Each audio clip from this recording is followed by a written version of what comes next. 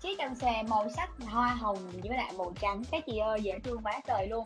Màu kem, màu hồng, màu xanh và màu trắng hòa quyện với nhau. Một cái tông màu rất là hài hòa, đúng không các chị? Xoay màu vòng cho mọi người xem phía sau lưng nè. Rồi, phía trước đây nha. Và cái form này thì nó xòe và bên trong có lớp lót cho các chị. Cực kỳ dày dặn luôn ha. Và cái màu sắc nhìn cũng rất là ngọt ngào nữa. Phần tay sẽ là rớt vai xuống và có các bạn dây giữ lại cho mình trên đây. Cổ không hề bị hở các chị nha. Và phần tay này nó sẽ giúp cho các chị che được khuyết điểm bắp tay ha.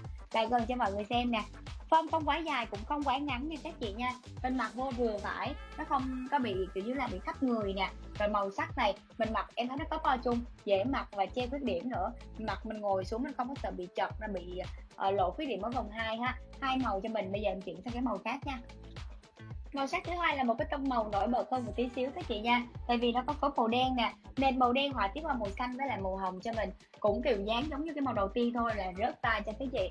Phía trên đây sẽ có đai hai cái dây cho các chị mặc mình giữ lại nha. Nó không bị tuột đâu và nó không bị hở. Các chị cứ yên tâm ha. Và cái phần xòe cũng là xòe nhiều cho mình nè. Có lớp lót bên trong, có vo chung nghe eo và form xòe vừa phải. Độ dài cũng vậy, các chị không quá ngắn, không quá cao. Các chị nào mình mặc mẫu này được á, thì em nghĩ là tầm khoảng sáu mươi mấy cái độ lại luôn. Tại vì cái cái bo chung này nó có dạng rất là nhiều và cái vải này mặc rất là mát các chị ha. Hai tông màu, chị nào thích màu nào, gửi ngay cho em số điện thoại và sản phẩm và đừng quên. Các chị đặt hàng ở bên em thì em sẽ giao hàng tận nơi và tư vấn kỹ hơn cho mình ha.